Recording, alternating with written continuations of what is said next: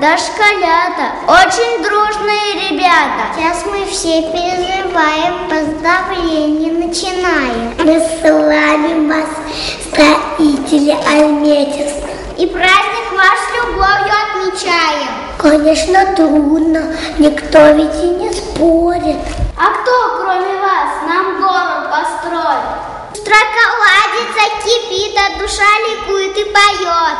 И на час хвалит, не ворчит. Тем, кто трудит земли на село, дрелью и белой, мы желаем много счастья и не стоит под стрелой. За детский сад, за наш дельфин мы вам спасибо говорим.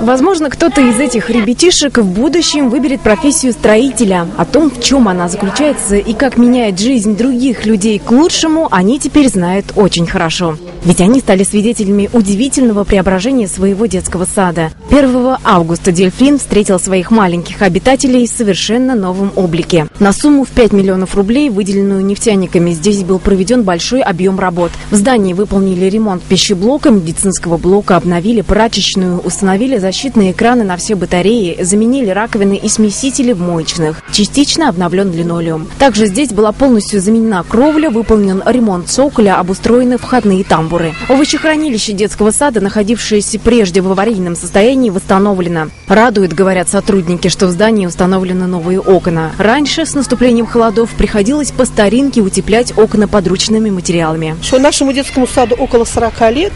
А, Последний капитальный ремонт проводился в 2005 году.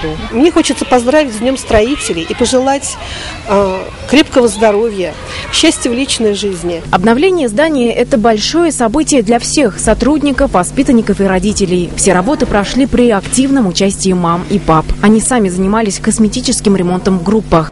Кажется, что и игры стали веселее и радостнее стало ребятам приходить в обновленный детсад, говорят воспитатели. После перерыва на ремонт обновленный дельфин снова живет своей обычной размеренной жизнью. Прогулки с детьми на свежем воздухе, занятия в группах, тихие часы.